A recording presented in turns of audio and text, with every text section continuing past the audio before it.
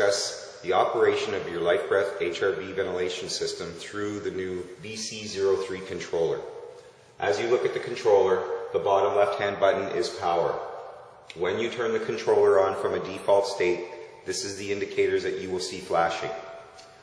When you turn your controller on for the first time, it's very important that if we are in the spring, summer, and fall months, that we disable the humidity controller, the middle button.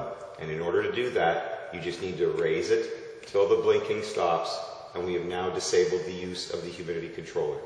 The humidity controller is, is good for wintertime applications when the home becomes too humid, what your humidity controller will allow you to do is to introduce a certain amount of drier, fresher air to calm the humidity issues in the home. Wintertime only application.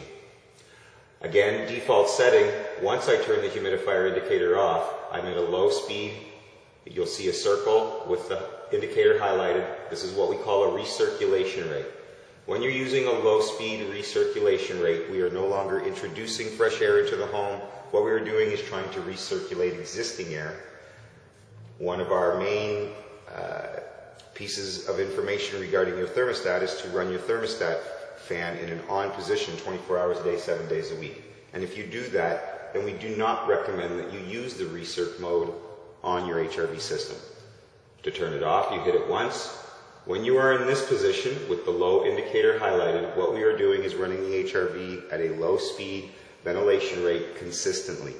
So it's constantly working 24 hours a day, 7 days a week, bringing in fresh air at a low speed rate.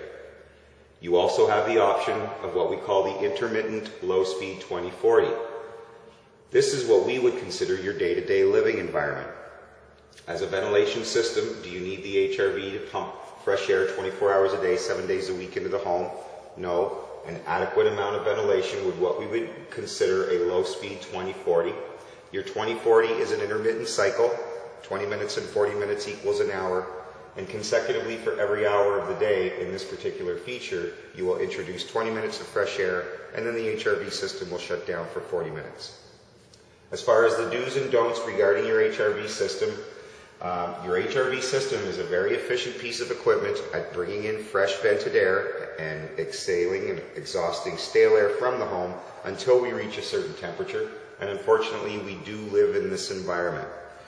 Basically what we're saying is anytime we start to reach temperatures of plus 30 with a humidex or minus 30 with a wind chill, at that point it is time to just shut the HRV system off because we've thrown the efficiency of the unit out the window.